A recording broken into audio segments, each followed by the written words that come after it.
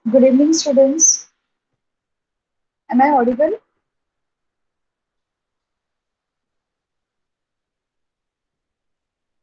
Okay. Okay. So, so let us continue our chapter. Last time हमने man-made materials chapter start किया था, right? I'll start sharing my entire screen. तो अभी हमने manmade chapter में क्या स्टार्ट किया था? पहले हमने देखा था कौन से मटेरियल्स मैनमेड है और कौन से मटेरियल्स नेचुरल है। ठीक है? जब भी हम मैनमेड मटेरियल्स या नेचुरल मटेरियल्स की बात करते हैं तो हम यूजुअली बात करते हैं चीज़ों की जो इंसान ने बनाई है और जो नेचर ने हमें दी है। ठीक है? जो नेचर ने हमें दी है, वो सारी चीज़ें पेरिशेबल है डिग्रेडेबल है डिस्ट्रॉयबल है। ओके? लेकिन मैनमेड मटेरियल्स जो होते हैं, उनमें कुछ चीज़ें ऐसी होती है जो डिस्ट्रॉयबल नहीं होती है, जो डिग्रेडेबल नहीं होती है और जो कि एनवायरमेंट के लिए बहुत हार्मफुल होती है। ठीक है? यस जैसे प्लास्टिक ये डिग्रेडेबल नहीं है ओके और जितनी सारी नेचुरल चीज़ें हैं, उनका लाइफ स्पैन होता है, उनका डेथ टाइमिंग होता है, उनका डिग्रेडेशन का टाइमिंग होता है। ठीक है? इतना सभी को क्लियर था? उसके बाद हमने सबसे पहला मटेरियल देखा, जिसे हम प्लास्टिक बोलते हैं ओके प्लास्टिक किससे बना होता है? ये ऑर्गेनिक पॉलीमर से बना हुआ रहता है ओके और हर एक स्ट्रक्चर प्लास्टिक का अलग अलग होता है। हर प्लास्टिक का स्ट्रक्चर उसकी थिकनेस की, उसके कंटेंट के हिसाब से अलग अलग होता है डिफर करता है ठीक है इस स्ट्रक्चर के ऊपर इसके बेस पे हमने दो टाइप के प्लास्टिक्स देखे थर्मोप्लास्टिक एंड थर्मोसेटिंग प्लास्टिक ठीक है? हमने उसके प्रॉपर्टीज़ भी देखे प्लास्टिक्स के अलग अलग प्रॉपर्टीज़ थे। देखिए, जैसे कि वो करोड़ नहीं होता है, उसको जंग नहीं पकड़ता है, वो डिकम्पोज नहीं होता है, वो इजीली अफेक्ट नहीं होता ह्यूमिडिटी हीट और रेन से। उसके बाद जो भी हम कलर उसको अप्लाई करना चाहे, हम कोई भी कलर से अप्लाई कर सकते हैं और वो अलग अलग शेप्स में मोल्ड होता है as per the property of plasticity ठीक है? अलग अलग शेप्स में हम उसको ढाल सकते हैं। वो एक बैड कंडक्टर ऑफ़ हीट और इलेक्ट्रिसिटी होता है, जिसकी वजह से हम उसको कैरी कर सकते हैं इजिली या फिर उसके अंदर हम वायरिंग वगैरह डाल सकते हैं। ठीक है? लाइट इन वेट होता है इजी टू कैरी होता है तो ये सारे अच्छे अच्छे प्रॉपर्टीज़ है प्लास्टिक लेकिन सबसे एक डेंजरस प्रॉपर्टी है कि इट डज नॉट डिकम्पोज कोई भी चीज़ को एनवायरमेंट में आने के बाद, उसका जाना एक समय के बाद ज़रूरी होता है। Okay okay? उसका डिकम्पोज होना, उसका डिस्ट्रॉय होना, उसका सेल्फ डिस्ट्रक्ट होना बहुत ज़रूरी होता है।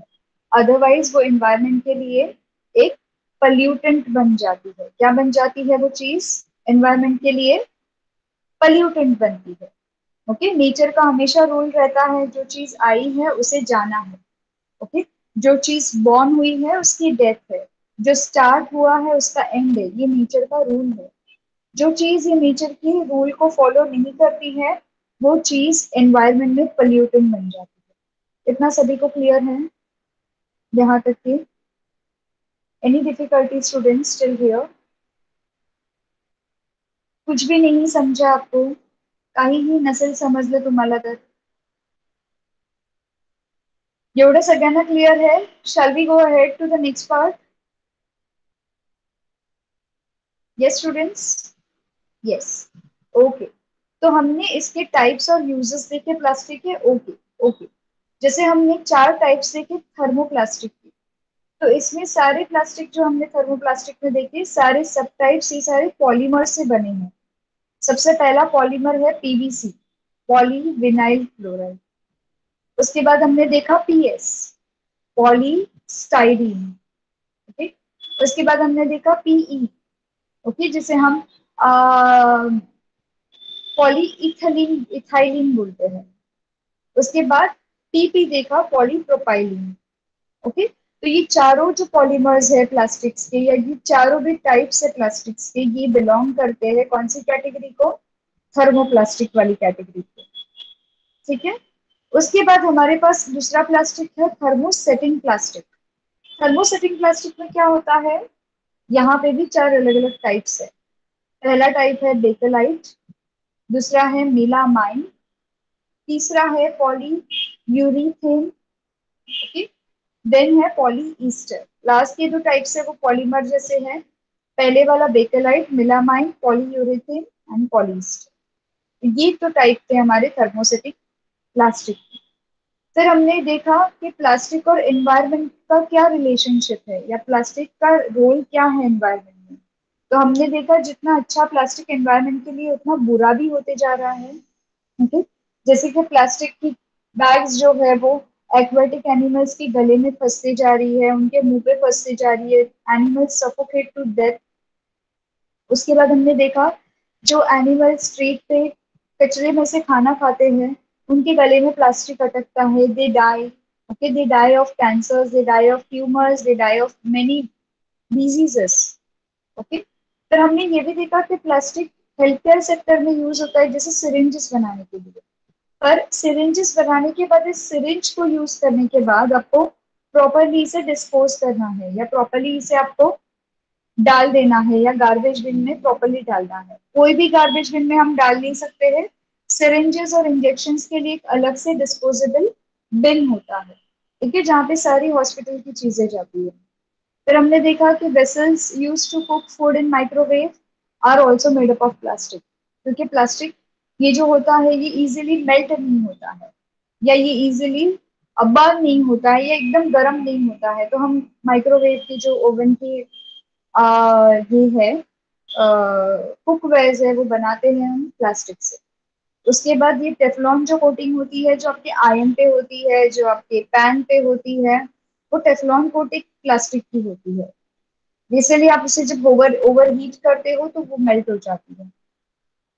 So all together 2000 different types के प्लास्टिक है नेचर में, ठीक है? Some plastic are used to assemble parts of airplane airplane में भी यूज़ होते हैं। Polyacrylic is a type of plastic used for manufacturing of lenses and artificial teeth. तो हमारी लेंस में भी प्लास्टिक का इस्तेमाल होता है और हमारे आर्टिफिशियल टीथ को भी बनाने में प्लास्टिक का यूज़ होता है। तो हमने इसके बेसिस पे देखे कि कौन से जो डेली लाइफ के मटेरियल है, जिसका डिग्रेडेशन पीरियड हमने देखा और टाइप ऑफ़ मटेरियल देखा, ठीक है? तो हमने इन सारे मटेरियल्स में से ये देखा कि plastic takes thousands of years and it is non degradable ठीक है? अगर प्लास्टिक जमा होते जाएगा, जमा होते जाएगा तो ये पल्यूटेंट बन जाएगा, क्योंकि ये डिग्रेड होता नहीं है, ओके? रिसेंट स्टडीज़ ने माइक्रो ऑर्गेनिजम्स डिस्कवर किए हैं जो प्लास्टिक को खाते हैं। पर अभी भी हम उस माइक्रो ऑर्गेनिजम्स को सेफली एनवायरमेंट में रिलीज़ नहीं कर सकते ओके रिसेंट स्टडी के हिसाब से। क्यों नहीं रिलीज़ कर सकते उसको? क्योंकि हमें उस माइक्रो ऑर्गेनिजम्स के साइड इफेक्ट्स पता नहीं है। क्यों? प्लास्टिक खाने के बाद वो एनवायरनमेंट में सबके लिए हेल्पफुल रहेगा या हार्मफुल बन जाएँगे वो माइक्रो ऑर्गेनिजम्स तो ये कॉन्सेप्ट अभी तक क्लियर नहीं है, इसलिए हर जगह पे उसका रिसर्च चालू है। पर नॉट नेसेसरी के माइक्रो ऑर्गेनिज्म ने अगर प्लास्टिक खाना शुरू किया तो सारा प्लास्टिक चला जाएगा। ऐसा नेसेसरी नहीं है। It depends on which quality of plastic does these microorganisms eat कुठल्या क्वालिटीचा प्लास्टिक या मायक्रो ऑर्गॅनिझम्स त्याला डिकम्पोज किंवा डिग्रेड करू शकतात। ओके तर आपण एक डिग्रेडेबल नॉन डिग्रेडेबल ह्याच्यावरती आपण फोर आर्स पाहिले। चार आर देखे, चार आर प्रिंसिपल देखा। फोर आर प्रिंसिपल क्या बताता है? सबसे पहला रिड्यूस आपको चीज़ों को रिड्यूस करना है। रिड्यूस मतलब कम से कम ऐसी चीज़ों को यूज़ करना है जो कि डिग्रेडेबल नहीं है। मिनिमल यूज़ एकदम कम से कम यूज़ ठीक है? रीयूज अब जो चीज़ें डिग्रेडेबल नहीं है, उसको तो हम डिस्ट्रॉय नहीं कर सकते टोटली तो उसको आप यूज़ करो। अगेन एंड अगेन यूज़ करो। अगर आपका पेट बॉटल का काम बन गया तो उसको पॉट बनाओ। अगर पॉट का काम हो गया तो उसको स्क्रैप डीलर को देके या रिसाइकल करा के उसको आप कुछ और चीज़ में कन्वर्ट करो but try to use it again and again example bag very good yes example bag okay then you have recycle recycle मतलब आप उसको बार बार यूज़ करो। Okay okay? उसको प्रोसेस करो। प्रोसेस करो मतलब उसको मेल्ट करो, वापस से उसका शेप चेंज करो। अगर आपको आता है तो पर उसको आप यूज़ करो, ताकि आपको नई चीज़ों की ज़रूरत ना पड़े। ठीक है? And then is last step is recover that is reclaim recover मतलब कोई भी चीज़ कहीं पे वेस्ट पड़ी है, उसको आप ढूंढो और उसको रिकवर करके फिर उसको रिक्लेम करो। रिक्लेम करने का मतलब ये है, आपको उस चीज़ को अगर वो यूजेबल नहीं है तो उसको आप रिसाइकलिंग के लिए आगे भेज दो, ताकि वो चीज़ बाकी के चीज़ों के साथ मिक्स होकर रिसाइकल बने। वो वेस्ट ना हो एनवायरमेंट के लिए पल्यूटेंट ना बन जाए।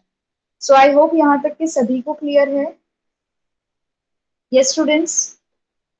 Easy to understand? Cleared the concepts? Any doubts? No? Okay, great. बाकी किसी को डाउट है? सिर्फ़ विशाल को डाउट नहीं है। Okay Nandini got it okay so अभी हम आगे बढ़ेंगे नेक्स्ट पार्ट की ओर, जिसका नाम है थर्मोकॉल ओके okay? अब ये थर्मोकॉल क्या होता है? आप सभी लोगों ने देखा है थर्मोकॉल ठीक है? थर्मोकॉल ऐसा मटेरियल है जो कि बहुत ज़्यादा लाइट वेट होता है प्लास्टिक से भी लाइट वेट होता है। ओके पर अभी ये थर्मोकॉल हार्मफुल क्यों है? अब हम देखेंगे कि क्यों हार्मफुल है first A new, easily breakable item brought at your home is usually packed in a box. So, as to prevent the item from breaking while handling the box, it is always packed in one or more wrapping. And usually, that wrapping of thermocol it is. Nowadays, the plates used in the mass feast are also made up of thermocol. Okay? Yes, like gum. Very good. So basically thermocol में आप कौन सी चीज़ें लेके आते हो खास करके जो ग्लास की बनी है आपका रेफ्रिजरेटर जो कि बहुत डेलिकेट है कहीं पे गिरना नहीं चाहिए कहीं पे उसका कोई भी पार्ट टूटना नहीं चाहिए टीवीज आपके कंप्यूटर मॉनिटर्स ओके उसके बाद सबसे delicate electrical appliances just like oven okay फिर आपका जो कुकर्स वगैरह होते हैं आयन होती है, ये सारी डेलिकेट चीज़ें हम थर्मोकोल की रैपिंग में लेके आते हैं। क्यों लेके आते हैं? हम प्लास्टिक को रैप नहीं कर सकते, क्योंकि थर्मोकॉल का सरफेस जो होता है it is shock proof okay ये जो सरफेस होता है it is called as a shock proof surface इसका मतलब ये है, अगर आप बाहरी हिस्से पे थर्मोकॉल के एक चीज़ से आप बैंग कर दोगे तो दूसरी तरफ़ जाने के लिए उसको टाइम लगेगा वाइब्रेशंस को ट्रैवल होने के लिए। सो so, इसकी वजह से बाहर अगर कोई भी हैवी चीज़ पड़ती है तो अंदर उसको डैमेज नहीं होता है। Okay okay? क्योंकि ये कुशन की तरह एक्ट करता है। ठीक है? कुशन की तरह एक्ट करता है मतलब अगर ये बाहरी सरफेस है और ये अंदर का सरफेस है। यहाँ पे अगर आपने प्रेशराइज कर दिया कोई चीज़ को यहाँ पे डाल दिया। तो इसको अंदर जाके यहाँ पे बेंड होने में बहुत टाइम लगेगा। इसकी वजह से क्या होगा, ये इसका जो प्रेशर है बाहर का, वो अंदर की ओर नहीं आएगा और इसके अंदर अगर टीवी का स्क्रीन है तो वो सेफ़ रहेगी ओके तो इसके अंदर एक क्वेश्चन जैसा सरफेस होता है जो इजीली शॉक को ट्रांसमिट नहीं करता। इतना क्लियर सभी को? So not only for wrapping आजकल के आपके जो फ़ंक्शंस में आप प्लेट वगैरह यूज़ करते हो ओके okay? फीस्ट में या आप कहीं पे भी जाते हो खाना वगैरह खाने के लिए, वो प्लेट भी थर्मोकॉल के बने रहते हैं। Okay so I hope this much is clear yes this is easy very easy ठीक है? बट कुछ पॉइंट्स आपको ध्यान में रखने हैं। Thermocol is a form of complex material called as polystyrene. Now, what is thermocol?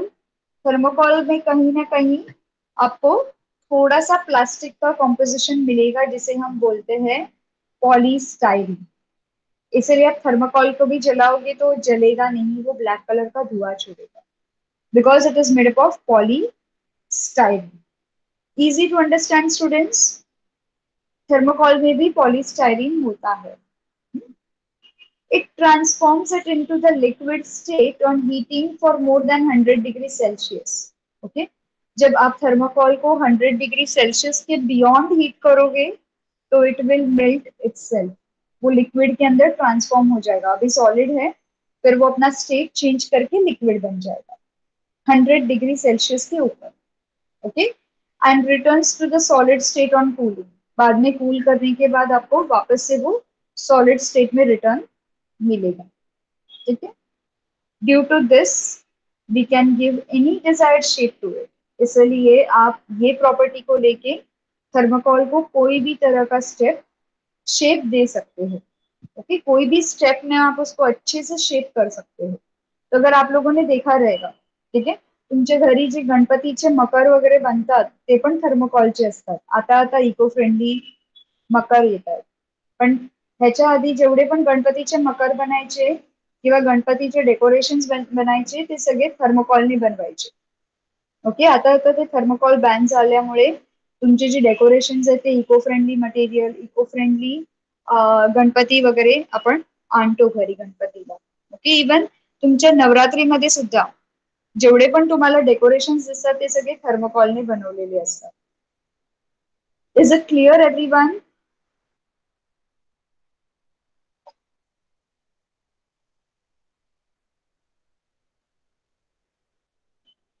can I go to next part okay आता इकडे काय आहे being a good shock absorber yes it is soft it is soft इसलिए हम उसको बोलते हैं shock absorber okay being a good shock absorber it is used in packing of delicate items तो कोई भी डेलिकेट आइटम जैसे ग्लास की आइटम्स होती है, जैसे कि शो पीसेस होते हैं, जैसे कि आपके ट्रॉफीज होते हैं, ये सारी आइटम्स जो है थर्मोकॉल में पैक की जाती है because it is a shock absorber हम उसे सॉफ्ट नहीं बोलेंगे, हम उसे साइंटिफिक टर्म में बोलेंगे shock absorber is it clear with every one students yes yes TV के पैकिंग के लिए भी होता है वेरी गुड ओके और किसके पैकिंग के लिए यूज़ करते हैं हम? सिर्फ़ नंदिनी और विशाल आंसर कर रहे हैं, बाकी कोई भी आंसर नहीं कर रहा है। यस और किस और किस चीज़ों की पैकिंग के लिए करते हैं हम? वॉशिंग मशीन टीवी बस सिर्फ़ इसके लिए? Cooler yes very good Nandini. Yes AC very good Vishal, और कुछ? Other students can also reply yes students refrigerator yes excellent so ये सारी चीज़ों के लिए हम उसकी पैकिंग के लिए यूज़ करते हैं। ठीक है? Now what we are going to do अभी हम क्या करने वाले हैं? हम इसकी लिस्ट बनाने वाले हैं, जहाँ जहाँ पे थर्मोकॉल यूज़ होता है। तो ये आपके लिए आज का होमवर्क है। ठीक है? आपको टेन चीज़ों की लिस्ट बनानी है टेन थिंग्स की लिस्ट बनानी है, जहाँ जहाँ पे आप रैपिंग के लिए या फिर जहाँ जहाँ पे आप थर्मोकॉल का यूजेज करते हो। क्लियर एवरीवन ये आपका होमवर्क है। ओके स्टूडेंट्स या अब आते हैं adverse effects of excessive use of thermocol on environment and human तो ये थर्मोकॉल को अगर हम ज़्यादा नंबर में यूज़ करें या ज़्यादा क्वांटिटी में यूज़ करें तो इसके एडवर्स इफेक्ट्स या फिर इसके गैर फ़ायदे जो एनवायरमेंट पे क्या हो सकते हैं और ह्यूमन्स के लिए कितना ये हानिकारक हो सकता है। जर का आपण थर्मोकॉलला गरजेपेक्षा जास्त यूज केलं. आणि त्या थर्मकॉलची रिक्वायरमेंट नसेल गरज नसेल तर त्याचा जो प्रभाव असेल तो आपल्या वातावरणावरती आणि माणसांवरती कशाप्रमाणे पडणार ते आपण पाहणार आहोत. ओके कारण का तुम्हाला जे थर्मोकॉल असतो त्याला पण तुम्हाला लिमिटेड क्वांटिटीमध्ये यूज करायचं आहे कारण की ह्याचा सुद्धा डिस्ट्रक्टिव्ह फॅक्टर नाहीये. हा सुद्धा एक पल्युटंट होऊ शकतो. ओके तुम्हारे पॉल्यूशन मध्य कॉन्ट्रीब्यूट करू शो अपने थर्मोकॉल सुधा खूब विचार कर यूज़ के डिंग carcinogenic ingredients in styrene the person in contact with thermocol for long duration may have the possibility of blood cancer like leukaemia and lymphoma okay तो इसमें जो है ओके तो इसमें जो है कार्सिनोजेनिक इंग्रेडिएंट्स है। कार्सिनोजेनिक इंग्रेडिएंट्स का मतलब क्या है, कोई बता सकता है? What do you mean by carcinogenic ingredients किसी को पता है कार्सिनोजेनिक इंग्रेडिएंट्स यस कोई बता सकता है कार्सिनोजेनिक इंग्रेडिएंट्स क्या है? Yes students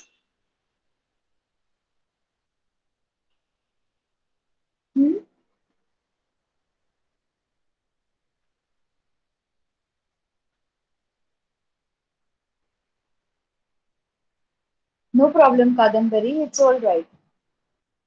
We have just started हमने थोड़ी देर पहले रिविजन किया था बस अभी पाँच दस मिनट पहले ही स्टार्ट किया। Okay no nothing okay carcinogenic ingredients का मतलब है कार्सिनोजेनिक मतलब कैंसर कॉजिंग एजेंट्स जिससे कैंसर होता है उन चीज़ों को या फिर उन हम ऑब्जेक्ट्स को कार्सिनोजेनिक बोलते हैं। कोई भी तरह का कैंसर जो कॉज करता है, उसे हम कार्सिनोजेनिक इंग्रेडिएंट्स बोलते हैं।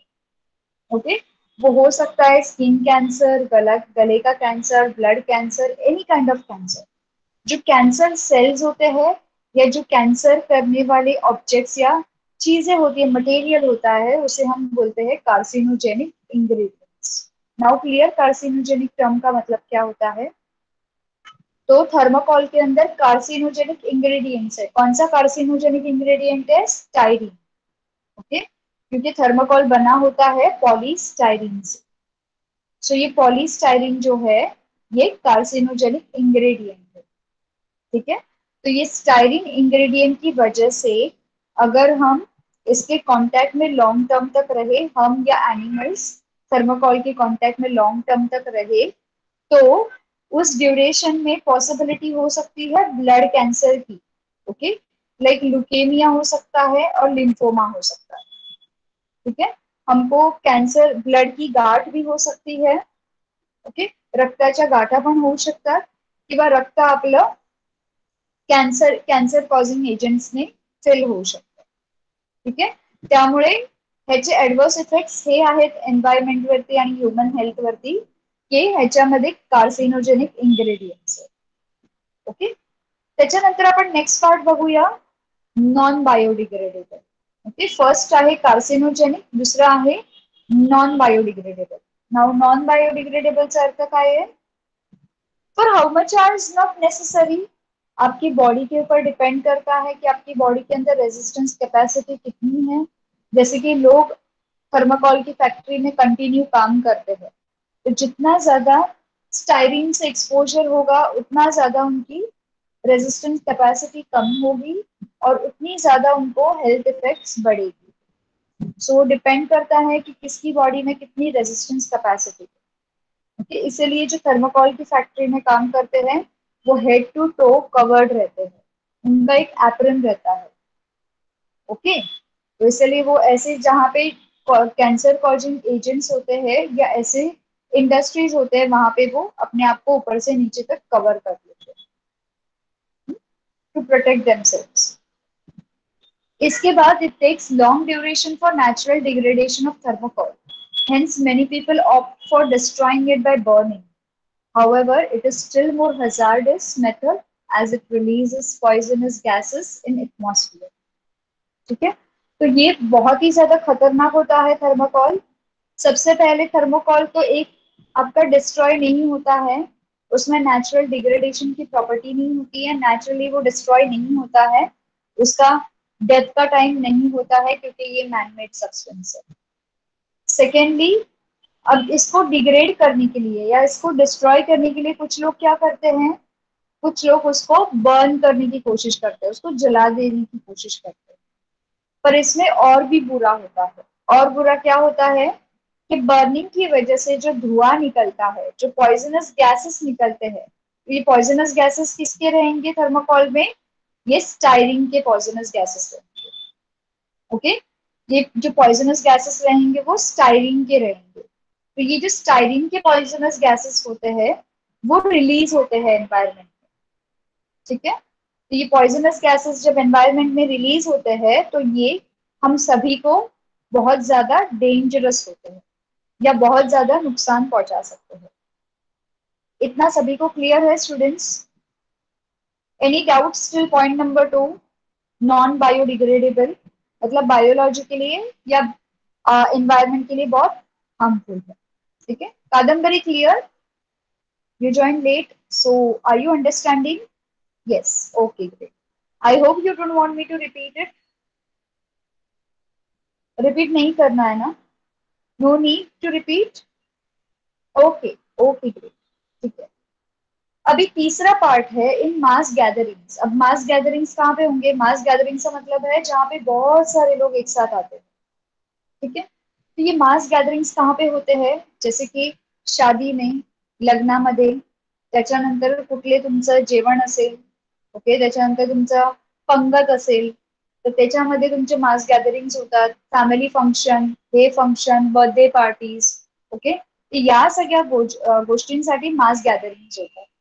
त्या मास गॅदरिंगमध्ये जे प्लेट आणि कप्स असतात ओके जे यूज होतात जेवणावळीसाठी जेवण वाढायला किंवा जेवण घ्यायला तर त्याच्यामध्ये फूड वॉटर टी हे सगळं आपण टाकून पितो ओके जे सगळे फूड वॉटर टी आपण बाउल्स प्लेट्स ग्लासेस वगैरे यूज करतो ते थर्मोकॉलने बनलेले असतात.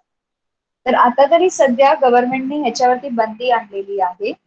पण काही काही ठिकाणी अजून सुद्धा हे यूज होतात आता ह्याने काय होणार? जर का तुम्ही जास्तीत जास्त यूज अँड थ्रो थर्मकॉल प्लेटमध्ये जेवलात किंवा तुम्ही त्याच्यामध्ये खाल्लात तर जास्तीत जास्त खाण्याने काय होतं की परत ते तुमच्या हेल्थ वरती इफेक्ट करतं. आपकी हेल्थ कोही नुकसानदायक हो सकता है क्योंकि food kept in thermocol is reheated एक तर ऑलरेडी तुमचं जेवण गरम असतं आणि ते थर्मोकॉलच्या प्लेटमध्ये टाकल्यानंतर प्लेट सुद्धा हीट होते.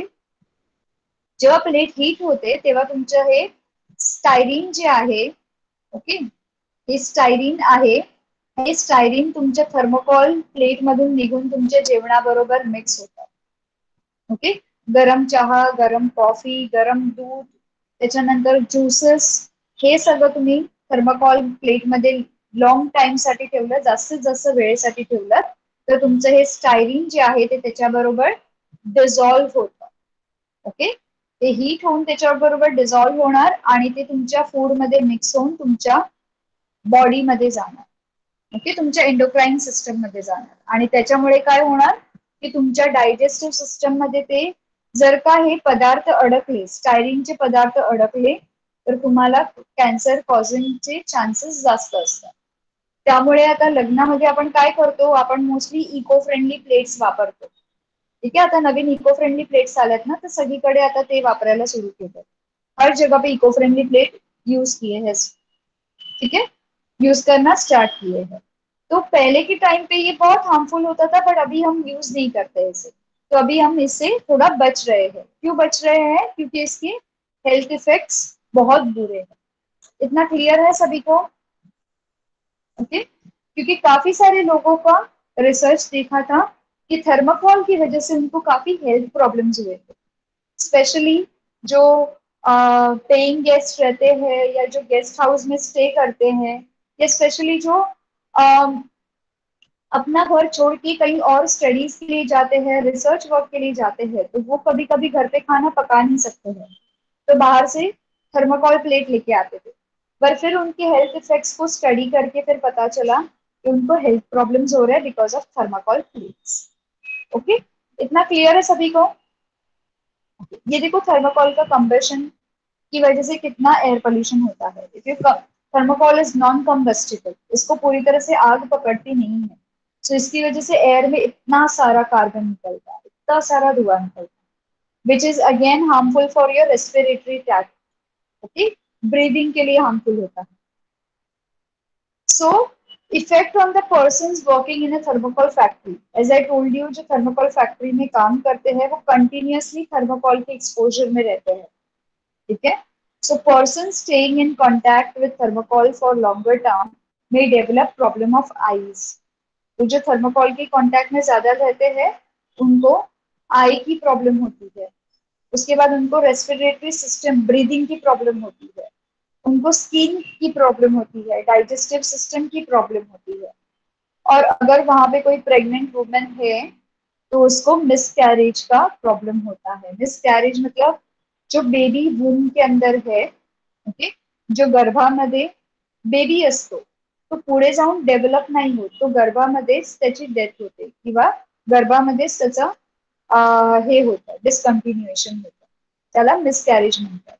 ज्या प्रेग्नेंट वुमेन्स असतात त्यांना थर्मोकॉलपासून लांब राहायला सांगतात. ओके जेव्हा कुठलीही वुमेन प्रेग्नेंट असते तेव्हा त्यांना इन्स्ट्रक्शन्स देतात की तुम्हाला ह्याच औषधी घ्यायच्या आहेत तुम्हाला आउट ऑफ द वे जाऊन दुसऱ्या औषधं घ्यायचे नाहीये. जे औषधं तुमच्या बॉडीच्या हेल्थसाठी चांगले आहेत. जे गोष्टी तुमच्या तुम्हाला ट्रॅव्हलिंग करायला नाही सांगतात. ओके जे त्यांना बेबीसाठी हार्मफुल नसेल त्या गोष्टी कराव्या लागतात. तर त्याच्यामध्ये एक हे असतं की थर्माकोलपासून लांब राहायचं. Okay so liquid styrene may cause skin burns जर का थर्माकोल मेल्ट झाला तर तो लिक्विड स्टायरिंग बनतो. लिक्विड स्टायरिंग बनल्यानंतर हे काय करणार? इन्फेक्शन कॉज करणार. स्किनचे बर्निंग कॉज करणार. तेवढं क्लिअर आहे सगळ्यांना? कोणाला डाऊट है इकडे स्टूडेंट्स किसी को कोई डाउट है यहाँ तक? थर्माकोल में किसी को डाउट है? No doubt easy to understand okay so before moving to glass let us quickly revise thermocol एक बार रिवाइज कर लेते हैं फिर आगे मूव होते हैं। ओके सो थर्माकोल में हमने देखा कि इट इज़ हम कोई भी चीज़ थर्माकोल की जो यूज़ uh, करते हैं वो शॉक प्रूफ मटेरियल के लिए यूज़ करते हैं ताकि उसको शॉक ना लगे और वो ब्रेक ना हो। खास करके डेलिकेट चीज़ों के लिए थर्माकोल यूज़ करते हैं। जैसे पैकेजिंग रैपिंग ओके उसके लिए यूज़ करते हैं। फिर उसके बाद हमने देखा कि थर्मोकॉल के अंदर कॉम्प्लेक्स मटेरियल होता है जिसे हम पॉलिस्टाइरिन बोलते हैं। जो लिक्विड फॉर्म में ट्रांसफॉर्म होता है, कभी होता है, जब उसको 100 डिग्री सेल्सियस के बियॉन्ड हीट करेंगे तो लिक्विड बन जाता है। और फिर से उसको कूल करने के बाद दोबारा से सॉलिड बन जाता है। ओके इस प्रॉपर्टी की वजह से हम थर्माकोल को मेल्ट करके दोबारा से उसको सॉलिडिफाई करके कोई भी शेप दे सकते हैं। ओके अब शेप देने की बात आई तो हम उसको शॉक एब्जॉर्बर करके भी यूज़ कर सकते हैं। शॉक एब्जॉर्बर मतलब जो भी चीज़ आप थर्माकोल के अंदर रैप करोगे और उसके ऊपर अगर आप कोई हैवी चीज़ रख दो तो थर्माकोल के थ्रू आपके बॉक्स के अंदर शॉक नहीं जाएगा या डैमेज नहीं होगी कोई चीज़। तो इसको शॉक एब्जॉर्बर के तौर पे यूज़ करने के बाद इसको हम डेलिकेट आइटम्स के पैकेजिंग के लिए यूज़ करते हैं। उसके बाद हमने आता इकडे लिस्ट पाहिली ठीक आहे थर्मोकॉल आपल्या डेली लाईफ मध्ये कुठे कुठे यूज़ होतो सगळ्यात पहिले की आपल्या थर्मोकॉल जो लाईफमध्ये यूज होतो त्याचा जास्तीत जास्त उपयोग केल्यामुळे. कि जितना ज्यादा आप यूज करेंगे उसके एक्सेसिव यूज की वजह से एन्वायरमेंट और ह्यूमन दोनों के लिए हार्मफुल होता है. पर्यावरणासाठी आणि मनुष्यासाठी आणि जनावरांसाठी सुद्धा हे खूप हार्मफुल ठरतं. कसं ठरतं? इथे चार स्टेप्स आहेत. पहिलं आहे कार्सिनोजेनिक इन्ग्रेडियंट त्याच्यामध्ये कॅन्सर कॉझिंग मटेरियल्स असतात. ज्याच्यामुळे थर्मोकॉलच्या जास्त एक्सपोजरमध्ये राहिल्याने पॉसिबिलिटी ऑफ ब्लड कॅन्सर होऊ शकते. ब्लड कॅन्सरमध्ये कुठले टाइप्स आहेत? ल्युकेमिया आणि लिम्फोमिया ओके हे दोन टाइप्सचे तुम्हाला लक्षात ठेवायचे ब्लड कॅन्सर्स ठीक आहे त्याच्यानंतर दुसरा पाहिलं आपण प्रॉपर्टी जी आहे नॉन बायोडिग्रेडेबल म्हणजे ही डिस्ट्रॉय नाही होत. थर्माकॉल जे आहे तुमचं तो कम्प्लिटली डिस्ट्रॉय नाही होत. त्याच्यामुळे काय होतं? की लोक त्याला डिस्ट्रॉय करण्यासाठी त्याला बर्न करतात असं. तर बर्न करण्यामुळे ते अजून हजार्डस होतं. अजून हजार्डस कसं होणार? थर्मोकॉलला जेव्हा आपण बर्न करणार तेव्हा तो हीट होणार हीट झाल्यानंतर मेल्ट होणार. मेल्ट झाल्यानंतर एकतर त्याच्यामध्ये स्टायरिंगचे जे फ्युम्स आहेत ते एन्व्हायरमेंटमध्ये रिलीज होतील. आणि ते एन्व्हायरमेंटच्या गॅस बरोबर पण मिक्स होणार आणि आपल्या हेल्थला पण इफेक्ट करणार ओके त्याच्यानंतर आपण नेक्स्ट बघितली प्रॉपर्टी जी आहे मास गॅदरिंगमध्ये जे प्लेट्स आणि कप्स आणि हे यूज करतात. त्याच्यामध्ये सुद्धा थर्मोकॉल यूज होतो. आता हा थर्मोकॉल कसं काय आपल्याला हेल्थसाठी हार्मफुल आहे? कारण की जेव्हा थर्मोकॉलची प्लेटमध्ये आपण गरम जेवण वाढतो किंवा गरम कॉफी चहा घेतो त्यावेळेला काय होतं? तर थर्मोकॉल एका वेळेला मेल्ट होतो. ओके मेल्ट असा होतो की परत तो जो थर्मोकॉलमध्ये जे स्टायरिनचे पदार्थ आहेत ते तुमच्या फूड बरोबर डिझॉल्व्ह होतात. आणि फूड फूड बरोबर डिझॉल्व्ह झाल्याने हेल्थचे प्रॉब्लेम्सची पॉसिबिलिटी वाढते. ओके आणि फोर्थ स्टेप अशी होती की effect of the persons working in thermocol factory J thermocol फॅक्टरीमध्ये काम करतात त्यांच्या हेल्थवरती कसा इफेक्ट होतो? की जे पर्सन जे लोक आहेत ते जास्त त्याच्या कॉन्टॅक्टमध्ये येऊन थर्मोकॉल त्याला आईजचे प्रॉब्लेम्स रेस्पिरेटरी सिस्टम ब्रिदिंगचे प्रॉब्लेम स्किनचे प्रॉब्लेम डायजेस्टिव्ह सिस्टमचे प्रॉब्लेम हे सगळे घडवू शकतो. इनफॅक्ट प्रेग्नेंट वुमेनना या थर्मोकॉलपासून लांब राहण्याची सवलत दिली जाते. म्हणजे त्यांना हे सांगितलं जातं की तुम्ही ह्याच्यापासून लांब राहा जेवढं होईल तेवढं. ओके कारण की त्यांना मिसकॅरेजचा प्रॉब्लेम होऊ शकतो. आणि जेव्हा लिक्विड स्टायरिन जे स्किन बरबर एक्सपोज स्किन बर्न सुधा हो I hope thermocol is clear with every one thermocol बदल कड़ा है any doubts in thermocol no doubt yes okay Kadambari that was for you because you join late okay students please do not join late join on time yes you got another class I read your message no problem. Now glass. आता हा जो शेवटचा part आहे त्याला आपण glass म्हणतो. Plastic झालं thermocol झालं आता ग्लास ओके सगळ्यात पहिले आपण बघूया we use the glass material on large scale in a daily life आपण भरपूर असे काचेचे वस्तू आहेत जे यूज करतो. कोणी मला सांगू शकतो आपण काच कुठे कुठे यूज करतो? कहाँ कहाँ पे हम ग्लास को यूज करते हैं? कौन कौन सी चीजों में? Come on start start listing in the chat box कहाँ कहाँ पे आप यूज़ करते हो ग्लास को? Yes mirror very good Kadambari और कहाँ पे? Yes students come on fast जहाँ जहाँ पे आप ग्लास को यूज़ करते हो वो लिख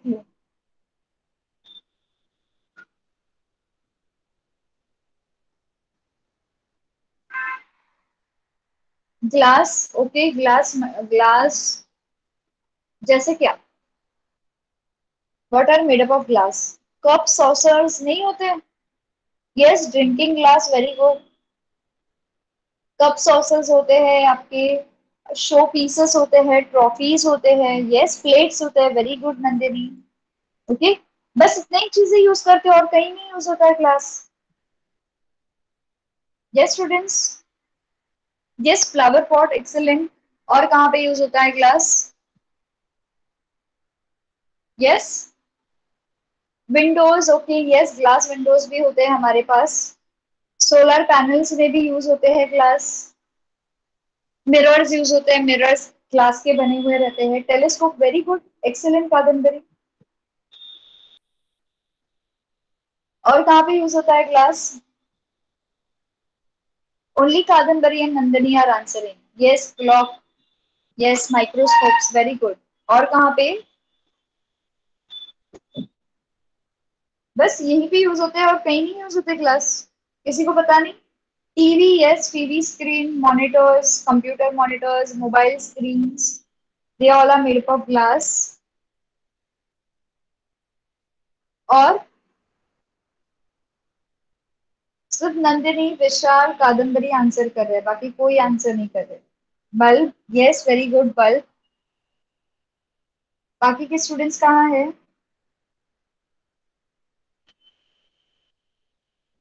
Vikas, Vedant, Ayush I want answer from you tubes excellent जो ट्यूबलाइट्स होते हैं वहाँ पे यस वॉशिंग मशीन की ओके डोर पे रहता है ग्लास यस yes, अलग अलग पार्ट्स भी होते हैं. सो so, आपको पता है कि हम ग्लास हर जगह पे यूज़ करते हैं. Almost everywhere in our day to day life हम यूज़ करते हैं. इनफैक्ट हम अपने कपड़ों पे भी ग्लास को यूज़ करते हैं. मॉनिटर कंप्यूटर यस वेदा तो हम हमारे कपड़ों पे भी यूज़ करते हैं डेकोरेटिव मटेरियल्स के लिए bike glasses very good concave and convex mirrors जो ग्लास के बने होते हैं। Kaleidoscope very good Kadambari very thoughtful example bike car के glasses very good very good so हर जगह पे हम ग्लास को यूज़ करते हैं। So periscope okay you remember your previous chapter अच्छी बात है। ठीक है। We use the glass material on large scale in our daily life हर जगह पे हम ग्लास को यूज़ करते हैं। Glass was discovered by chance showroom yes okay that's it that's it let us stop तो ग्लास कैसे डिस्कवर हुआ था? ग्लास डिस्कवर हुआ था बाय चांस ओके किसी ने जानबूझ के ग्लास को डिस्कवर नहीं किया था। Okay okay? वो कैसे डिस्कवर हुआ था? हम इसकी स्टोरी को जल्दी से पढ़ लेते हैं। Some Phoenician traders okay some Phoenician traders were cooking in desert तो एक डेजर्ट की जगह थी। वहाँ पे कुछ लोग बैठ के जमा होके अपना खाना पका रहे थे। अब क्या हुआ? The cooking vessel were supported on the limestones और नीचे जो थे, वो दो पत्थर रखे थे। कुकिंग वेसल को दो पत्थरों पे रखा था। ये कुकिंग वेसल है और उसको पत्थर पे रखा था। ये पत्थर किसके बने थे? लाइमस्टोन के बने थे। ठीक है? When cooking vessel was kept on the limestone they observe that transparent material has been formed. अभी इन्होंने क्या किया? ये कुकिंग वेसल को लाइमस्टोन से निकाला और डेजर्ट की मिट्टी पे रख दिया। नीचे डेजर्ट था, उसकी मिट्टी पे रख दिया कुकिंग वेसल को। इधर डेजर्ट था पूरा। सैंड था। तो अब ये जो कुकिंग वेसल है, ये बहुत हॉट था। ये सैंड के कॉन्टेक्ट में आते ही इन्होंने क्या देखा? That the transparent material has been form यहाँ पे ट्रांसपेरेंसी बन गई। ठीक है? एक अलग से ट्रांसपेरेंट मटेरियल फॉर्म हो गया था। अब यहाँ पे क्या हुआ? They thought that this is transparent material may have been form due to heating together of sand and limestone तो इनको क्या लगा कि ये जो सैंड है और ये लाइमस्टोन है, ठीक है? ये जो लाइमस्टोन है और इसके नीचे जो सैंड है, उसकी इन दोनों को हीट लगने की वजह से ये एक ट्रांसपेरेंट मटेरियल फॉर्म हुआ होगा okay okay? But they thought that this transparent material may be formed due to heating of sand and limestone. This led to the development technique of the glass production. और यहाँ से glass production की technique start हुई तो लोगों ने ये phenomena देखा लोगों ने ये प्रोसीजर देखा लोगों ने इस पे रिसर्च किया और फिर यहाँ से ग्लास का प्रोडक्शन स्टार्ट हो गया पता चला कैसे स्टार्ट हो गया दो फिनिशियन जो थे वो डेजर्ट में कुकिंग करते बैठे थे। ओके? उन्होंने सिर्फ़ कुकिंग का जो बर्तन था लाइमस्टोन से उठा के सैंड में रख दिया। ओके?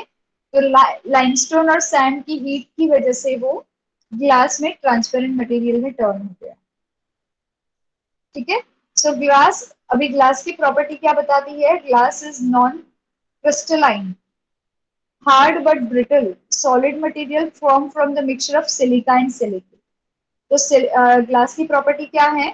कि ये एक नॉन क्रिस्टलाइन है। क्रिस्टल से क्रिस्टल जैसा स्ट्रक्चर नहीं है इसका, ये ट्रांसपेरेंट है लेकिन इसका क्रिस्टल जैसा स्ट्रक्चर नहीं है। ये थोड़ा हार्ड है ओके ये जल्दी से टूट जाता है ब्रिटल है ओके और ये सॉलिड मटेरियल है। ये किससे बना हुआ है?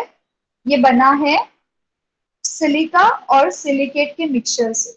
ये सिलिका और सिलिकेट दो अलग अलग टाइप्स के कंटेंट्स है इसके, जिससे ये बना हुआ। है सिलिका का मतलब है एस आई ओ टू ये इसका मॉलिकुलर फॉर्मूला है एस ओके और which which we refer to as a sand silica का मतलब क्या है? सैंड इसका मॉलिकुलर फॉर्मूला ये है, ठीक है?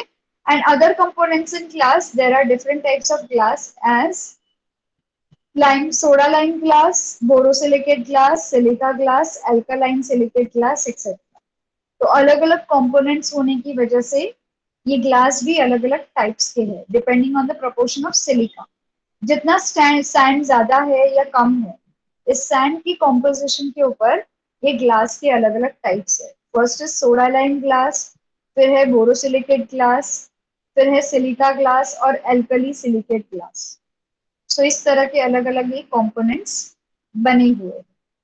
Okay okay? तो ये आप सभी को पता चला ग्लास की डिस्कवरी क्या हुई, कैसे हुई? और फिर उसके बाद ग्लास को डेवलप कैसे किया गया? और ग्लास के अंदर का कॉम्पोजिशन क्या होता है? और इस कॉम्पोजिशन के बेसिस पे अलग अलग टाइप के ग्लासेस बनते हैं। जितना सैंड ज़्यादा यूज़ करोगे, कम यूज़ करोगे, वो हर नए टाइप के ग्लास को फॉर्म करेगी। ठीक है? अब ग्लास मैन्युफैक्चरिंग प्रोसेस में ये देखो, इस तरह का पूरा सेटअप होता है। ये पूरी स्टेप ऐसी होती है। इसमें क्या होता है, एक बड़ा सा फर्नस होता है। फर्नस मतलब एक बड़ा सा बोलते ना खूप मोठं भांड असतं, खूपच भांड। रॉ मटेरियल टाकले जातात रॉ मटेरियल टाकल्यानंतर इकडे हीट दिली जाते।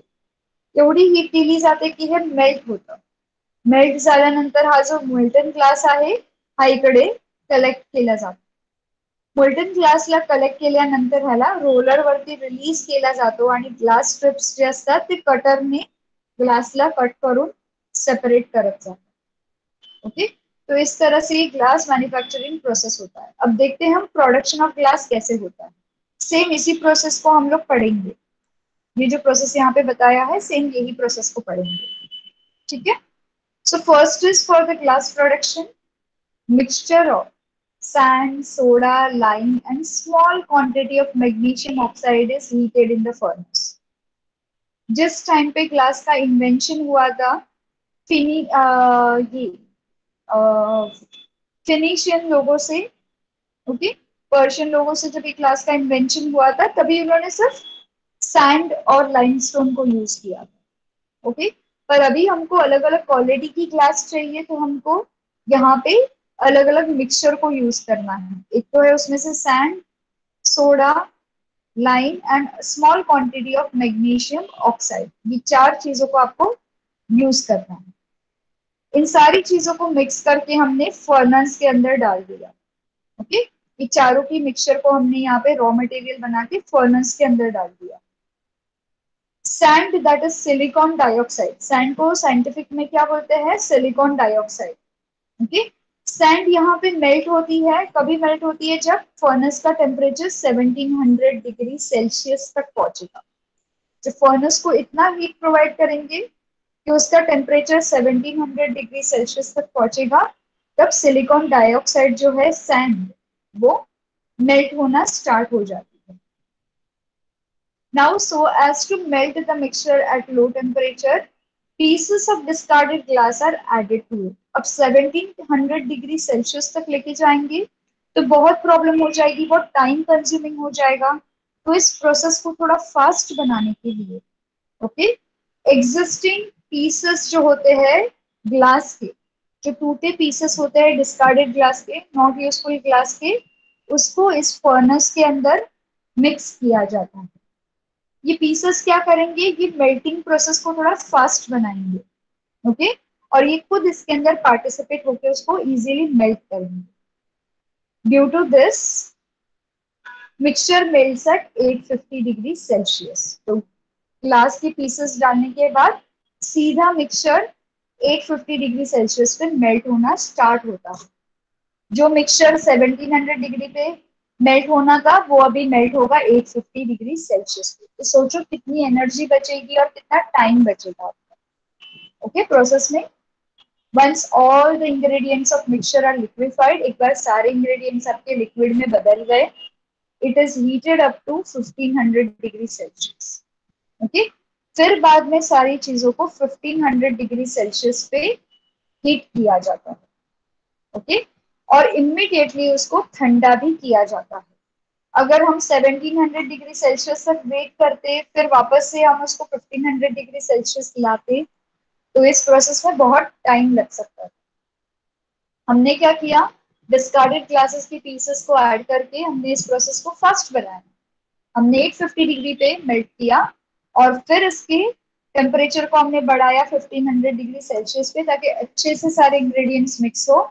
और इसके बाद हमने इसको इमिडिएटली कूलिंग प्रोसेस में डाल दिया। Okay due to sudden cooling अभी क्विक ये डायरेक्टली हीट में से निकाल के कूलिंग प्रोसेस में डाल दिया तो इससे क्या होगा? Mixture becomes homogeneous amorphous and transparent instead of crystalline अगर धीरे धीरे कूल करते तो क्रिस्टल फॉर्म हो सकते थे।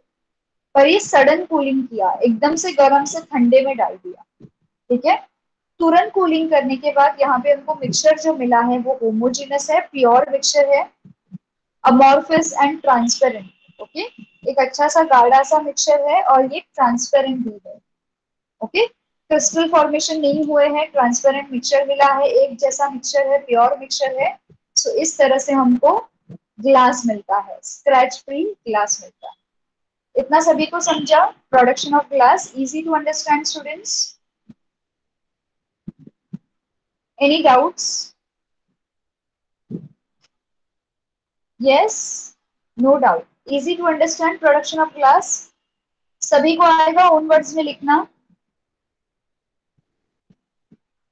yes students everyone can write in your own words about production of glass yes very good excellent excellent very good okay vikas अब आते हैं हम प्रॉपर्टीज़ ऑफ़ ग्लास पे ओके okay? ग्लास की कुछ प्रॉपर्टीज़ है। कौन कौन से प्रॉपर्टीज़ है, हम देखते हैं। ठीक है? सबसे पहली property on heating glass become soft and can be moulded into any shape जब हम ग्लास को हीट करते हैं तो वो सॉफ्ट बन जाता है। जब ये ग्लास सॉफ्ट बनेगा तो हम उसको कोई भी शेप में ढाल सकते हैं। ओके जेव्हा आपण ग्लासला हीट कर करतो ग्लास मऊ बनतो मऊ बनल्यानंतर त्याला आपण कुठल्याही वस्तूमध्ये टाकून त्याचा आकार देऊ शकतो. ओके त्यानंतर सेकंड प्रॉपर्टी काय सांगते? Density of glass depends on its ingredients किती जाडा ग्लास आहे किती बारीक ग्लास आहे किती ट्रान्सपेरंट आहे किती ट्रान्सल्युसेंट ग्लास आहे हे डिपेंड करतं त्याच्या इंग्रेडियंट्सवर हे डिपेंड करतं त्याच्या आतमध्ये जी मटेरियल्स आपण रॉ मटेरियल्स यूज केले आहे त्याच्यावर. ओके? तर ते डिसाइड करतं की ग्लास कुठल्या प्रकाराचा असेल किंवा कुठल्या क्वालिटीचा असेल. त्याच्यानंतर थर्ड प्रॉपर्टी आहे glass is slow conductor of heat okay? Glass को अगर आपने हीट के लिए यूज़ किया, अगर उसके अंदर हीट पास की तो वो ना कंडक्टर है, ना बैड कंडक्टर है, लेकिन वो स्लो कंडक्टर ऑफ़ हीट है. धीरे धीरे ग्लास हीट होगा. एक साथ ग्लास हीट नहीं होगा. ओके क्विकली ग्लास हीट नहीं होगा, उसको टाइम लगेगा हीट होने okay on quick heating of cool glass और on quick cooling of hot glass it will crack and it will break अगर आप कोल्ड ग्लास को तुरंत हीट करोगे, या गर्म ग्लास को तुरंत ठंडा करोगे तो इसमें क्रैक्स और ब्रेक्स हो सकते हैं. ग्लास टूट सकता है. ग्लास डैमेज हो सकता है. इसीलिए आप अगर आप ग्लास के मटेरियल फ्रिज में से निकालते हो, बाहर तो आप रूम टेम्परेचर पे रखते हो। तुरंत आप ग्लास की मटेरियल या बाउल्स या वेसल्स को हीट नहीं करते। और अगर आपने ग्लास के वेसल्स को हीट किया है तो तुरंत आप फ्रिज में नहीं रखते हो। उसको कूल होने देते हो रूम टेम्परेचर पे और फिर उसको फ्रिज में रखते हो। इतना सभी को क्लियर है students any doubts here yes students no doubt okay अब ये ग्लास जो है, ये heat slow conductor of heat ये कब पता चलेगा जब आप घर पे दिया वगैरह जलाते हो, कोई भी फ़ंक्शन में, त्योहार में? दैट टाइम अगर आप देखते हो ग्लास का दिया रहेगा तो वो स्लोली हीट होगा, तुरंत हीट नहीं होगा। ठीक है? तो अभी हम चलते हैं फोर्थ प्रॉपर्टी पे। फोर्थ प्रॉपर्टी क्या बताती है? Being bad conductor of electricity now यहाँ पे बताया है glass is bad conductor of electricity so glass में से इलेक्ट्रिसिटी पास नहीं होती है। ठीक है? It is bad conductor of electricity तो glass is use as insulator in electrical appliances तो गैस को ग्लास को हम क्या यूज़ करेंगे? As a insulator in electrical appliances तो जितने भी इलेक्ट्रिक के अप्लायंसेस हैं, उसमें हम ग्लास यूज़ करते हैं। Okay okay? क्योंकि वो बैड कंडक्टर ऑफ़ हीट होता है, जैसे कि आप ओवन की प्लेट देखोगे तो ओवन के नीचे बेस में एक प्लेट फिक्स होती है, जो ग्लास की बनी हुई होती है। ओवन का आप स्क्रीन देखोगे बाहर का, जिसमें से आप अंदर देखते हो, वो भी ग्लास का बना रहता है। ठीक है? So it is bad conductor of electricity उससे शॉक नहीं लगता है आपको करंट पास नहीं होता है। ठीक है? अब ये इतना क्लियर है next we will go to fifth point fifth point हमें क्या बताता है बीइंग ट्रांसपेरेंट ग्लास ट्रांसपेरेंट है so most of the light will pass through the glass तो जितनी लाइट है मैक्सिमम लाइट ये पास करेगा अपने through however there are oxides of either chromium या vanadium or iron in the glass large amount of light is absorbed in the glass तो अगर आपकी ऑक्साइड्स प्रेजेंट है इसमें, जैसे कि क्रोमियम वेनेडियम कलरिंग ग्लास के लिए, जब आप ग्लास को खास करके कलर देने की कोशिश करते हैं तो वो टाइम पे लाइट जो है वो कलर्स के स्पेक्ट्रम की वजह से ये एब्सॉर्ब हो जाएगी। अदरवाइज़ ये ग्लास ट्रांसपेरेंट रहेगा तो लाइट को पास करेगा अपने ओके आपल्यामधून लाईटला पास करतो जर का त्याच्यामध्ये ऑक्साईड्स ऑफ क्रोमियम वॅनेडियम आणि आयन असतील तर हे जे क्रोमियम वॅनेडियम आयन आहे ते लाईटला एब्झॉर्ब करायचा प्रयत्न करतील. आणि त्यामुळे जास्तीत जास्त लाइट आहे ती ग्लास एब्झॉर्ब करायला सुरुवात करेल. इथपर्यंत क्लिअर आहे सगळ्यांचं? Everyone is clear till here सगळ्यांना क्लिअर इथपर्यंत any doubts Can go to to another part Okay. Students, is it okay if I extend lecture for another 20 minutes or 30 minutes? I'll try to wind up early. मैं जल्दी finish करूंगी लेकिन 20-30 minutes में हो जाएगा okay is it okay with everyone all are comfortable students okay yeah we will finish this chapter and with this your portion will be completed from my side है मेरा फिर ये पोर्शन कंप्लीट हो जाएगा। Mostly आपका ये जल्दी से हो जाएगा 15-20 मिनट्स में but maximum in case extend किया तो 30 मिनट्स इससे ज़्यादा एक्सटेंड नहीं होता। ठीक है? अब आते हैं हम टाइप्स एंड ग्लास की यूजेस पे। अब ग्लासेस के अलग अलग टाइप्स भी होते हैं और उसके यूजेस भी होते हैं। हर एक टाइप का ग्लास अलग अलग चीज़ों के लिए यूज़ होता है। वेगवेगळ्या प्रकाराचे जे काच असतात किंवा ग्लासेस असतात, त्याला आपण वेगवेगळ्या कारणासाठी यूज़ करतो. जसं mirror okay yes yes Vedant I will do that I will end before seven thirty don't worry everyone is okay or shall we keep this for another session? Tell me now. Shall I continue or shall we do it for another session, students? If you have your exam, we can do it tomorrow.